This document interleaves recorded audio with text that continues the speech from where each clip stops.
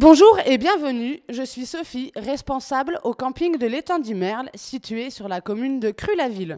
Nous vous accueillons du lundi au dimanche de 9h à 19h. À l'accueil, nous vous proposons la location de barbecue, l'accès au code Wi-Fi, l'épicerie, ainsi que le service boulangerie.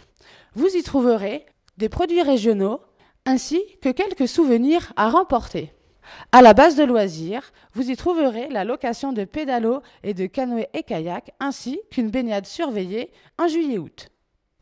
Le camping est équipé d'emplacements tentes et caravanes, de 11 mobilhomes tout confort, ainsi que de 5 chalets situés au bord de l'eau.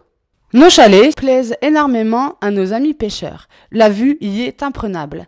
Équipé d'une cuisine, d'une salle de bain ainsi que de toilettes, il comporte aussi deux chambres, et vous accueille de 4 à 6 personnes.